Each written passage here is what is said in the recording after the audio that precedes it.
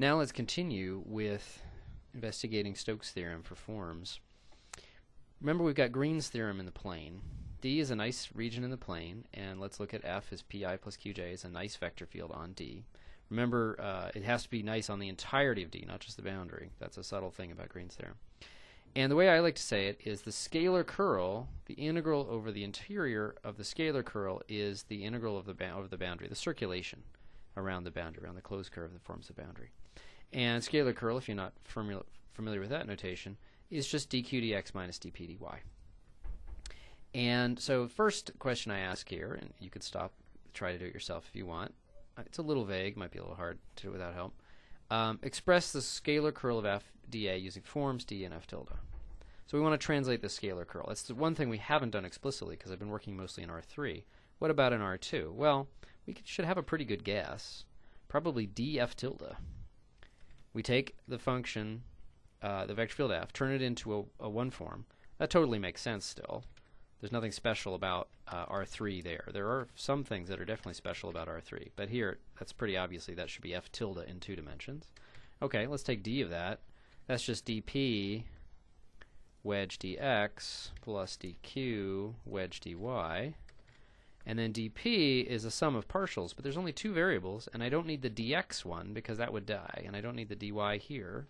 So it's just going to be partial p partial y dy dx, little space there, dy wedge dx, plus partial q, and only partial x is going to contribute here, dx wedge dy. Oh, guess what? That's going to be exactly this expression, the scalar curl, put in parentheses, times dx wedge dy.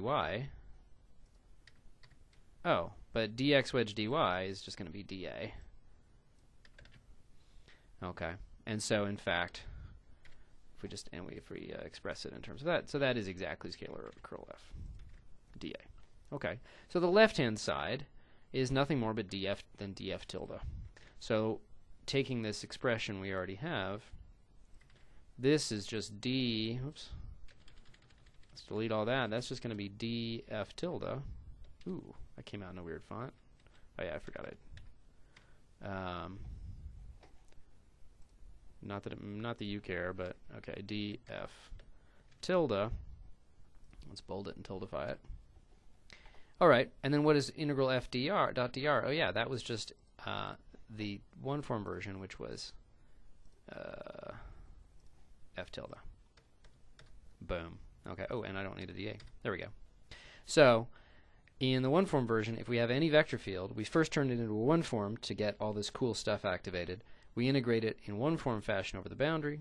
It's the same as if we took d on the inside and took the integral over the inside. Oh, and I don't need the double integral symbol anymore. I promised I wouldn't do that anymore.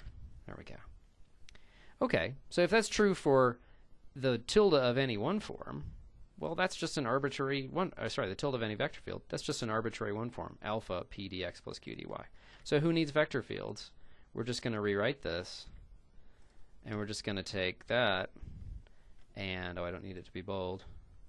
I'm just going to call that alpha. And I'm just going to call that alpha as well. So notice the similarity here. When it was a function, I could integrate that over a zero-dimensional set, and that's the same as the boundary, and that's the same as the integral over c of df. It's exactly the same. The only thing that's changed is the letter I've used for the input. Exactly the same statement and we're getting to see the, the unifying power of the form technology. Okay, what about the classical Stokes theorem in R3? Now we've got a surface in R3, f is a nice vector field on that surface. Then the integral over the, uh, the flux of the curl is supposed to be the circulation of the original vector field around the boundary. Okay, so let's do it in these two stages again. Let's just go ahead, go ahead and think of it as a statement about vector fields and, and use tildes, and then we can just convert that to something about forms so that vector fields won't be necessary. Okay, well, let's just, I'm just going to copy this down and start changing it. The curl of f, remember what that was? It was, you would take f and tildify it to make it a form, and then take d of it,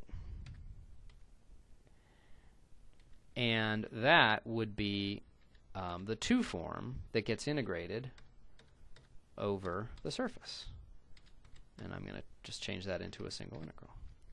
So this is what we're doing on the left-hand side. We're taking f, turning it in one form, taking d. That's exactly a 2 form. It's ready to integrate over a surface, and we're good to go. This, of course, is something we already know. This guy is just the integral of the tilde of f straight up over the boundary. Boom.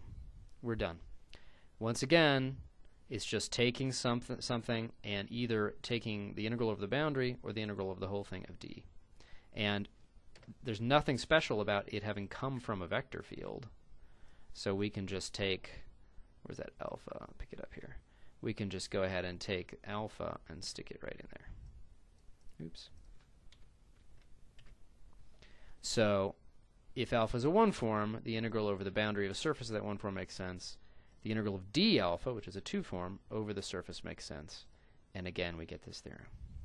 Well, now you can guess what the divergence theorem is going to look like. The claim is that, see, I'd say here, by now you should be uh, getting rather bored with the answer. The claim is that it's going to be exactly this. Just I'm going to change this to a triple integral over e. It's going to be a double integral of the boundary, and then alpha here is a 2 form. So it makes sense to integrate it over the boundary of a region, that's essentially a flux integral. Or d alpha is a 3 form, that's the kind of thing that you can integrate over a region. And why is this true? It's because, remember, d of alpha is the div. Um, I don't think I'm going to do it out explicitly in terms of the tildes and stars, because we're really getting, um, getting the idea. And then just take a look at 5 real quick. Pause it, the video if you want. We haven't done much about integrating over high dimensional surfaces in high dimensions like a 17 dimensional surface in R32. But the great thing about forms is even if we really had only the vaguest notion of what that thing, what those would mean, we have a pretty confident guess as to what Stokes' theorem would say in that case and it won't be hard to at least do sort of basic ideas of what this uh, these ideas will, will be, and we'll do that. And indeed, this will be Stokes' theorem, and we'll be able to prove it from scratch in full generality when it's n dimensions and, and a k form, because it really won't be any harder.